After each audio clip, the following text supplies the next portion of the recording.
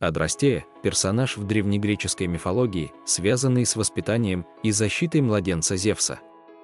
Имя Адрастея может относиться к нескольким различным мифологическим фигурам, но наиболее известна она как нимфа, которая помогла скрыть Зевса от его отца Кроноса. Адрастея вместе со своей сестрой Идеей и кормилицей Амалфеей скрыли младенца Зевса в пещере на горе Ида на острове Крит. Они защищали Зевса от его отца Кроноса, который пожирал своих детей, чтобы избежать предсказанного свержения. Адрастея часто изображалась вместе с Амалфеей, козой, которая кормила Зевса своим молоком.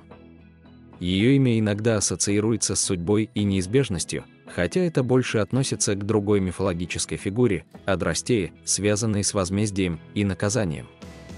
Адрастея как защитница младенца Зевса символизирует заботу, безопасность и поддержку – ее образ часто ассоциируется с материнской любовью и преданностью.